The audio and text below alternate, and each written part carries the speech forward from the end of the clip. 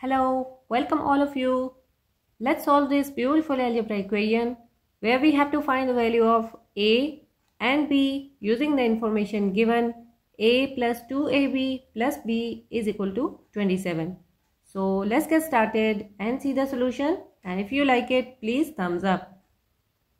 We are going to multiply this equation by 2 on both sides is equal to 2 times 27.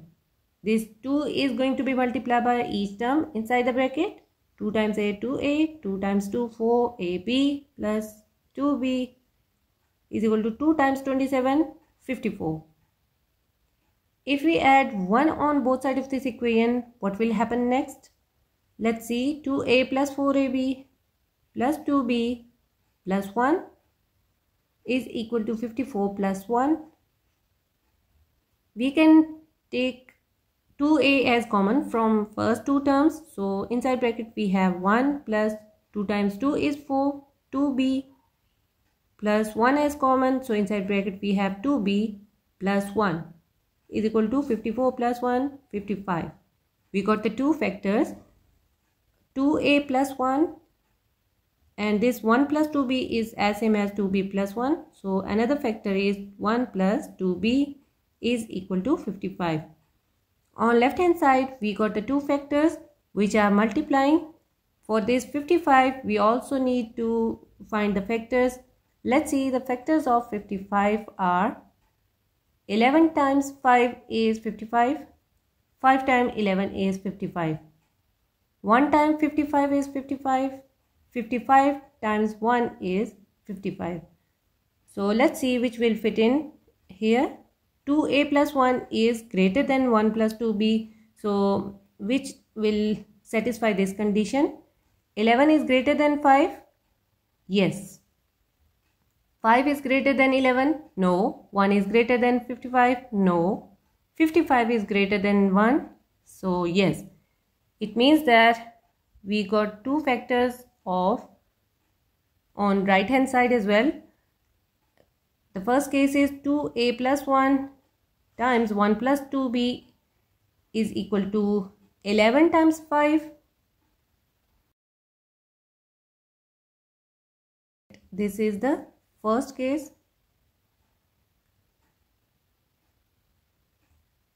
Let's compare right hand side to left hand side. 2a plus 1 is equal to 11 and 1 plus 2b is equal to 5. Now let's see the second case. Second case is 2a plus 1 times 1 plus 2b is equal to 55 times 1 means that 2a plus 1 is equal to 55 and 1 plus 2b is equal to 1.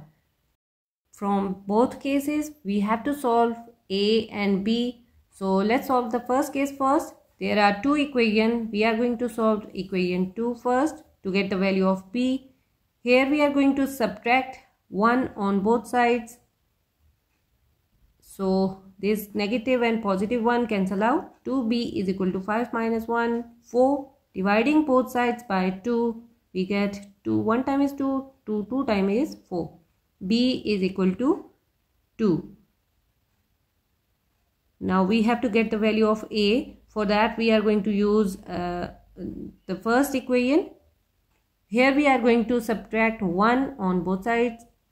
So 2a plus 1 minus 1 is equal to 11 minus 1 this and this cancel out. 2a is equal to 11 minus 1 10 dividing both sides by 2 this this will be equal to 2 5 times 10 2 1 time is 2 a is equal to 5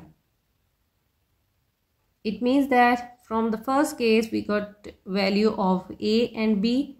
B is equal to 2 and a is equal to 5 let's solve the second case now. We are going to subtract 1 on both sides of the equation 2 so this 1 and 1 cancel out.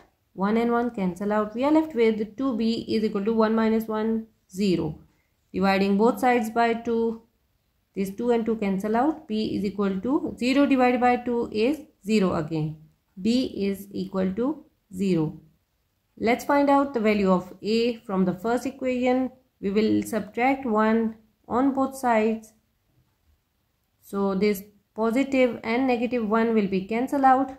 2a is equal to 55 minus 1, 54. Dividing both sides by 2, 2 and 2 cancel out.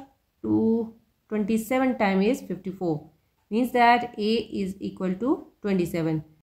b is equal to 0 and a is equal to 27. We have find out the value of a and b from both cases. But our next step is to check and verify whether these values are correct or not. So let's check. We are going to put in these value in the given equation a plus 2ab plus b is equal to 27. b is 2 and a is 5 so let's start putting the values 5 plus 2 times 5 times 2 plus b is 2 is equal to 27 5 plus 2 times 5 is 10 10 times 2 is 20 plus 2 is equal to 27 on left hand side we get 27 which is equal to right hand side it means that the value of a and b are satisfying this equation these are correct Let's start putting the other values of a and b in the equation. To check, b is 0, a is 27. So 27 plus 2 times 27 times 0 plus 0 is equal to 27. 2 times 27 is 54 and if we multiply by 0 we get 0 again. It means that left hand side is equal to right hand side and these values are also correct which are satisfying this equation. You can check all the steps and go through once again. All of you keep watching, keep practicing.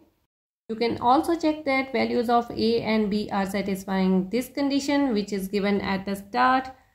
I hope it is clear. If you have any question, any query, feel free to ask to me in the comment box. Don't forget to hit the like button. See you in the next video. Till then, take care. Bye.